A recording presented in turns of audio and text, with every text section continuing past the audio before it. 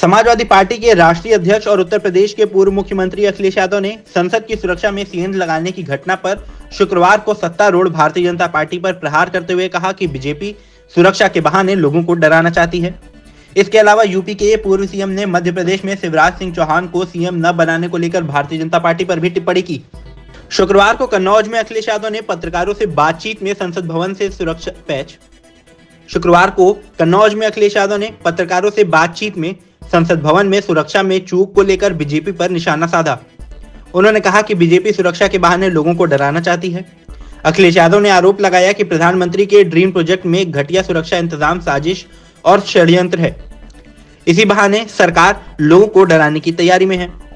विपक्षी दलों के समूह इंडिया गठबंधन पर पूर्व मुख्यमंत्री ने कहा कि विधानसभा चुनावों के नतीजों से गठबंधन और मज़बूत हुआ है और आने वाले लोकसभा चुनाव में सभी दलों से बीजेपी के खिलाफ एकजुट होने के लिए कहूँगा। बीजेपी को राज्य की सभी अस्सी सीटों पर हराने की तैयारी है।